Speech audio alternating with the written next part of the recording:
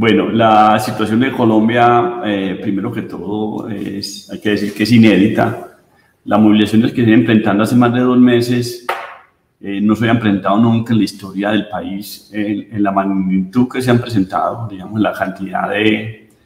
gente articulada la movilización, la cantidad de sectores, en las regiones más alejadas, la gente movilizándose, sobre todo gente joven, pues hay que decirlo, sobre todo gente joven,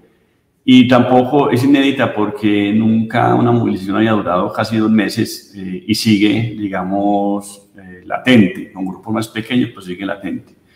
Eh, tiene que ver también, digamos, el punto de quiebre e inflexión, una reforma tributaria, pero más que una reforma tributaria, es un acumulado histórico de un modelo neoliberal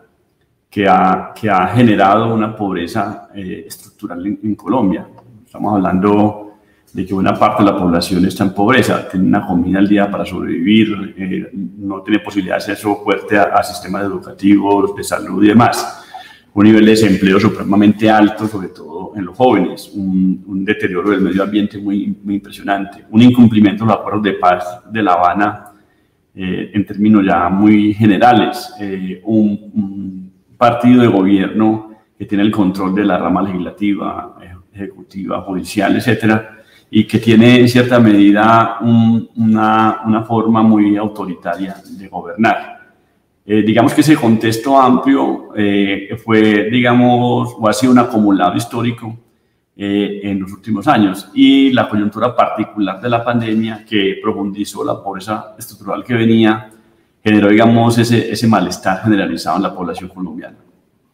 que se evidencia en, en protestas muy fuertes, eh, movilizaciones muy fuertes, eh, muy, muy pensando en, temas, algunos coyunturales y otros estructurales. Me refiero a los, a los coyunturales como la reforma tributaria que se tumbó, eh, también la sacada, digamos, la sacada del ministro de Hacienda, que fue una de las luchas, retiro de la reforma a la salud, etcétera, la matrícula cero para estudiantes universitarios, eh, digamos, son temas, algunos coyunturales y otros estructurales, como una reforma laboral, como la reforma a, las pensiones, como la renta básica para la población, eh, para 10 millones de personas en Colombia que, que, quedaron más empobrecidas de lo que venían, etcétera. Y, y, otros temas que tienen que ver, ya temas de, de, los jóvenes, que tienen que ver con, con mayor posibilidad de acceso al, empleo de los jóvenes, educación, eh, digamos, temas con el, del medio ambiente, población LGTBI, etcétera. Digamos que hay unos temas allí muy importantes, que son los temas que generaron esa movilización y que generaron una violencia, creo que sin comparación en Colombia en los últimos tiempos y sin comparación en América Latina en los últimos tiempos. Estamos hablando, las cifras oficiales, eh, está alrededor de 75 muertos eh, por las movilizaciones, entre muchos de ellos jóvenes, eh, se centraban básicamente en regiones como, como Cali, como Antioquia, como Bogotá, algunos desaparecidos, violaciones de mujeres por parte de la fuerza pública, eh, una, una activación de, de, paramilitarismo urbano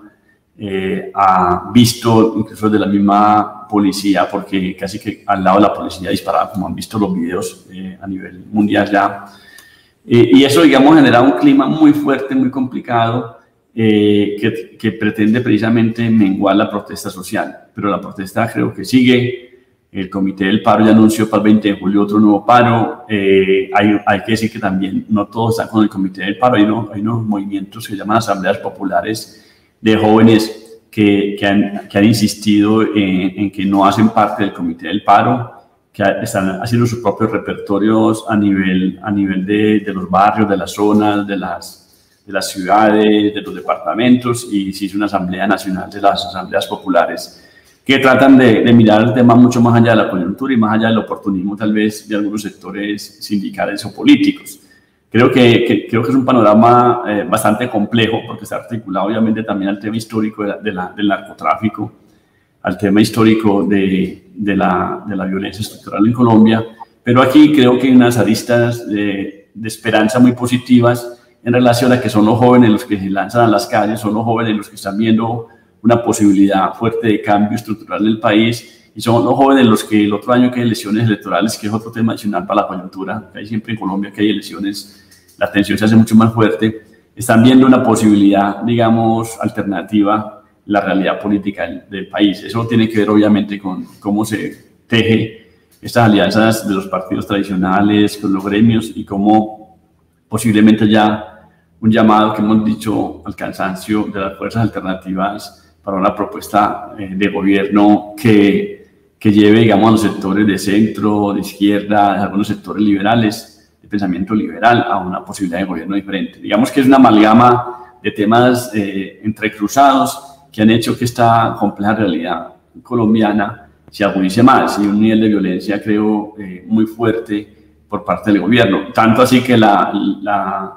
la Comisión Internacional de Derechos Humanos eh, hace poco sacó el documento e instó al gobierno a que hiciera unos cambios en la fuerza pública, que no fuera, no fuera el Ministerio de Defensa, sino fuera una fuerza eh, civil. También llamó la atención sobre la cantidad de asesinatos por parte de la fuerza pública que están demostrados, etcétera y llamó también al respeto a la protesta social en Colombia, no coartar la protesta social, porque hay unos proyectos de ley que, del gobierno que pretenden precisamente coartar la protesta social como un derecho fundamental. Entonces, eh, eh, así como de manera muy, muy compleja y, y, tal vez un poco atascada por tantos temas que, que, que son y que atraviesan esta realidad colombiana, podemos decir que esos son los puntos gruesos de, de lo que estamos viviendo en Colombia hoy. Sabe, John, que en Colombia siempre que se habla de cualquier cosa se, se busca traer la cuestión de la, de la guerrilla, ¿no? Como está la lucha armada y todo más. ¿Cómo eso aparece en estos momentos, ya que, como tú mismo has dicho, estas movilizaciones son tocadas por los estudiantes, los jóvenes, un poco desplegadas de, de estas antiguas o más viejas formas de lucha cómo que se hace esta ligación o si no hay ligación alguna, cómo que se comporta la guerrilla, etcétera. Eh, es, el, tema que ha recorrido siempre, digamos, los gobiernos. De, antes eran las FARC, las FARC filtraban, digamos, cualquier tipo de protesta o movilización. Ahora eh, han dicho que, que, algunos reductos del ELN o las, o las disidencias de las FARC pero eso se ha desmitificado mucho porque, digamos, estos, estas movilizaciones son muy urbanas, pero se ha, se ha, se ha, se ha configurado, digamos, como al estilo de Neil Christian, el criminólogo, la persecución de un enemigo. El enemigo ya es, es el vándalo, entonces en el vándalo se descarga toda la tensión que en otra hora se descargaba, por ejemplo, precisamente a, eso, a esas fuerzas insurgentes. Y ese vándalo eh, es visto como terrorista y, la, y, se penaliza como terrorista. Entonces, eh, se, ha, se, ha, construido, digamos, también ahora a través del vándalo o el vandalismo la figura del terrorismo y, han judicializado o, o, quieren, o hay muchos jóvenes en proceso de judicialización por vandalismo. Digamos que efectivamente pueden haber algunos hechos de vandalismo en algunas regiones de, Colombia, pero la gran mayoría de los jóvenes protestan de manera pacífica, eh, artística, creativa, etcétera, que no tiene nada que ver con el vandalismo. De hecho, en muchas regiones han sacado algunos de los vándalos de las movilizaciones porque desmitifican eh, la protesta social y, y, las hace perder credibilidad. Siento que eso es parte eh, de lo que hacer los movimientos sociales para que tenga mayor contundencia, mayor apoyo. Y, y, creo que, que, es, importante eso, porque les digo de paso, nosotros en la universidad hicimos una, una encuesta y, básicamente el 85% de la población apoyaba el paro. Eso nunca había pasado en Colombia.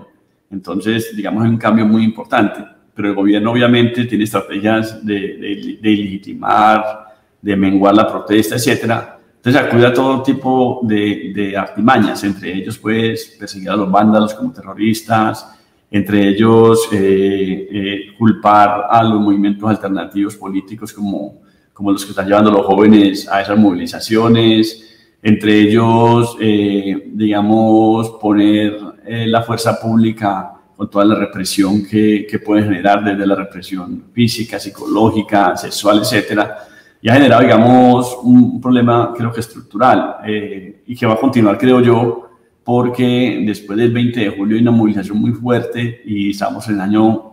preelectoral. Y, va a ser muy complejo porque creo que es el último, la última posibilidad que tiene la derecha de estar en el poder y, la, y va a hacer lo, lo, hasta lo imposible por estar, porque hay, hay una fuerza muy grande de movimientos alternativos que creo que van punteando las encuestas casi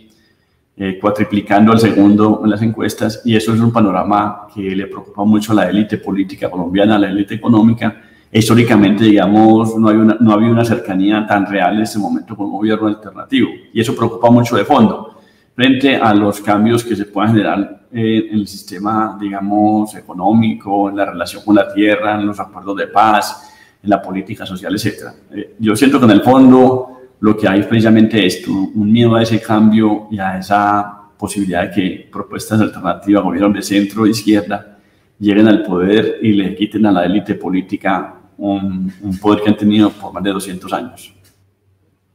¿Y te parece que en estas protestas ya están surgiendo nombres, opciones para las elecciones? Sí, eh, de hecho está ratificado en las encuestas que ha hecho, que ha hecho los mismos, las mismas empresas tradicionales de, de, estudio de opinión, ¿cierto? Aquí se ve que, que, hay, que por ejemplo, eh, Gustavo Petro, que es uno de los gobiernos alternativos, va punteando la, encuesta con un 26%. El que lo sigue eh, no sube ni al 8%, eh, que es, que digamos, uno de centro, centro centro izquierda, se, se, quiere vender así, pero bueno, tenían unos vínculos también con la, con la institucionalidad tradicional. Eh, los, que ven, los, los, que se ven punteando muy poco son precisamente los gobiernos, los, los eh, candidatos tradicionales del Centro Democrático, del Partido Liberal, del Partido Conservador, casi que no, no, no suman mucho en, en, la, las, en, las, encuestas. Y eso, y eso, digamos, es una posibilidad real de cambio en el país. Más eh, que los jóvenes esta vez eh, están manifestando un deseo de votar, ¿cierto? Los jóvenes, la extensión en Colombia eh, ronda el 52%, entre el 52%, 55%, etcétera. Y, los jóvenes, digamos, están manifestando votar en una capa de la población muy fuerte que precisamente le está apostando a propuestas más alternativas, más diferentes a los gobiernos tradicionales. Siento que hay una ruptura ahí fuerte con la política colombiana pero también hay que matizar una cosa y es que la historia política de Colombia ha estado atravesada por muchas tragedias cuando precisamente eh, se, se, puede vislumbrar una propuesta alternativa. Entonces, eso es lo que preocupa realmente el análisis sociopolítico en Colombia. ¿Qué está pensando la, las élites del poder? ¿Cómo quieren configurar las elecciones? ¿Hasta dónde quieren llevar, digamos, eh, la represión o la forma de, de coercionar, digamos, el voto? ¿Qué legitimidad puede haber también? En los procesos electorales y credibilidad cuando los órganos de poder en este momento están controlados por el gobierno, etcétera, etcétera, que son cosas que creo yo que, que eh, requieren mucho análisis, mucho estudio, pero requieren también el acompañamiento de la comunidad internacional a la, al momento pues, de, de, los cambios. Y también hay un cambio que se debe generar, que, que creo que va por buen camino, y es que haya mayor eh, participación en el Congreso de las bancadas alternativas eh, digamos que, que, es muy importante porque todos los proyectos de ley pasan precisamente por el Congreso y allí hay una, una, posibilidad de banca alternativa mucho más sólida, más fuertes, que permitan precisamente que, eso, que, esos cambios que se quieran dar en el país en términos legislativos, de política social, política económica, de tierras, del tema de la paz, etcétera, puedan darse a través de ese trámite. Y creo que hay una fuerza muy importante de los congresistas alternativos y posiblemente pueden dar la sorpresa en las próximas elecciones legislativas que son en el, en el mes de marzo. Parece que el camino que, que, la gente está siguiendo entonces es lo institucional, o sea que por la vía electoral. No hay en estas protestas eh, ninguna pretensión de un cambio verdaderamente estructural, revolucionario. No, eh, yo creo que no. Nosotros, nosotros, ustedes recuerdan que nosotros en Colombia eh, tuvimos hasta hace un par de años la guerrilla más vieja de América Latina y del mundo, ¿cierto? Las FARC. El, y tenemos la, el, el, ELN todavía activo, que es la segunda guerrilla más, más antigua de Colombia, que, que, un año después de las FARC. O sea que, y por el lado de la, de la, de la revolución, de la, de la mmm, digamos, insurgencia, creo que el cambio no se podría dar en relación a, por un lado, a la, a la, a la poca capacidad militar que, tiene, que tuvo las FARC en su momento. Si, digamos, eh, si la, tuvo una posibilidad militar grande, pero no para competir, digamos, al gobierno y sobre todo para competir con la ayuda que hizo Estados Unidos con el Plan Colombia y los diferentes planes. El ELN no tiene esa capacidad, no tiene esa capacidad en el país, no tiene un copamiento, digamos, de país, es una guerrilla más rural que está muy articulada a un sistema muy federal, no tiene un, orden de mando central. Fuera de eso, eh, hay muchos vínculos con el, narco, el, narcotráfico, las disidencias de las FARC, digamos, están articuladas muchas de ellas también a un sistema muy de, ilegalidad. Los bloques que, de las FARC que se desprendieron pues con Márquez y con Santrich no, no, no han configurado un, un, flujo de poder fuerte, etcétera. Y, y, siento yo que, que ya, ya el momento de darle una oportunidad realmente a la democracia, a los partidos alternativos. Por el medio de la guerra no, no va a haber un cambio social en Colombia y por medio de la, de la de guerra insurgente no, no, lo va a haber. Creo yo que, que ese, no es el camino, tenemos que apelar más a la democracia, a, la, a una ciudadanía alternativa, a una ciudadanía libre, a, a unos partidos de coalición de centro, centro-izquierda que precisamente logren cambios estructurales en el país. Eh, que, cambios estructurales que sean paulatinos, no, no es, un, es, un, cambio estructural eh, de manera eh, radical y de manera inmediata. Creo que es paulatino en relación a, un, a una configuración eh, económica y política en Colombia por más de 200 años y eso implica precisamente trabajar esos temas con mayor, mayor cuidado. Así que no veo una fuerza insurgente en este momento que le compita al gobierno Veo más bien una fuerza, una fuerza insurgente muy desplegadas eh, en algunos sectores del país con, con, mínima capacidad, muy articuladas algunas de ellas al narcotráfico y a, y a, los, y a los, paramilitares, eh, pero no, no, no, no, tienen la capacidad obviamente de tomar el poder. No. Si no lo tomaron en los 70, 80, que había más fuerza, creo que ahora menos.